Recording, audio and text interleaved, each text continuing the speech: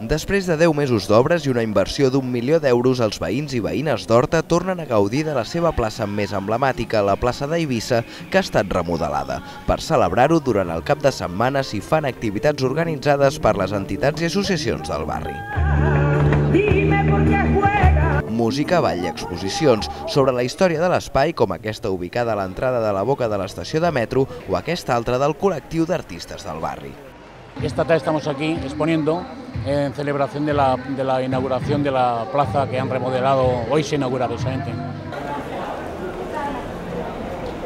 Ha quedat molt bé, molt bé, perquè hi havia, ara és, eh, havia molta cotxes i, i no podien jugar els crios. Bé, molt bé, molt maca, molt moderna i bueno, eh, tiene una altra imagen y está muy bien. A nosotros nos gusta que nos ha quedado muy amplia y estamos muy contentos todos los vecinos. Un dels èxits de la millora ha estat que s'ha basat en el procés participatiu que es va dur a terme per elaborar el projecte.